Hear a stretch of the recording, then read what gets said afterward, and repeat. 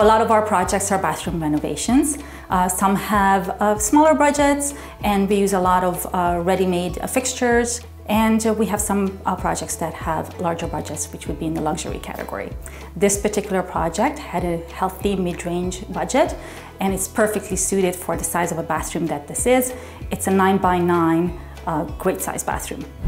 The original bathroom had maple cabinetry, beige tiles, it had a tiny, super dark shower, and it had a typical tub that was under the window. It was not very functional and really felt dated.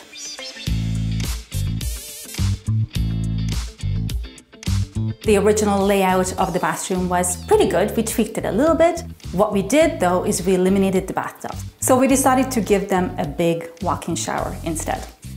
A lot of clients who have not done renovations prior are unsure about what the cost of a bathroom renovation will cost. The bulk of the money went to the construction fees. This is a fairly new home, so there were no unexpected elements, no surprises to anticipate. So the construction fees for this particular project were $15,000. It included demolition, installation of all the finishes, the fixtures, obviously putting in all new plumbing, all new electrical throughout, it's really, really important to do your research, interview contractors, to spend the right amount of money for hiring the contractor that is the right fit for your project. The next bigger portion of the budget went towards the custom vanity. I think with a mid-range budget, it's important to invest in custom elements because that's what sets your bathroom apart from a cookie cutter bathroom. We spent $3,000 on the custom vanity, but it got us exactly what we wanted for the space. We gave these clients the storage that they really, really wanted in the space. We also splurged on a beautiful quartz countertop and some shelving above the vanity to have a little bit of display and fun. The next portion of the funds went towards tiles. We did have a lot of square footage to deal with. We spent $2,300 on the tiles. We chose porcelain tiles for all the finishes here because they're low maintenance. They're much better suited for this particular space than marble would have been. Marble would have taken us over budget. We spent $1,800 on the plumbing fixtures. We went to a specialty store to get the best fixtures that we could for our budget. It's worth investing in really good fixtures because they're gonna last your lifetime.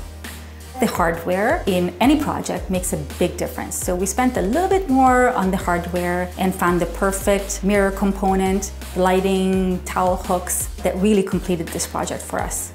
We spent $300 on the mirror from Pottery Barn, and we also spent $300 on the hardware and the hooks. We found two sconces that checked all the boxes for us, and they were $185 each. We discovered this new line of vent covers that are super cool. And this is the very first project that we used them in. They are called Aria vents and they seamlessly fit into the flooring and they are super sleek. They were $75, but well worth the money spent on them. When getting ready for a renovation or for us for a project, I always put a chunk of the budget aside for accessories and finishing touches. In this case, we spent a little bit on accessories for the exposed shelves and we sourced beautiful artwork for this space that really completes the look. We sourced a teak bench for the shower and some fun little accessories that are found throughout. We spent $600 on the artwork and $500 on the accessories. It makes all the difference.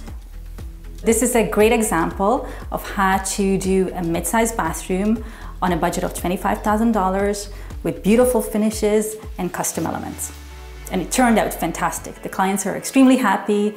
They got everything that they wished for, and we're happy for them. They love their mornings in here now.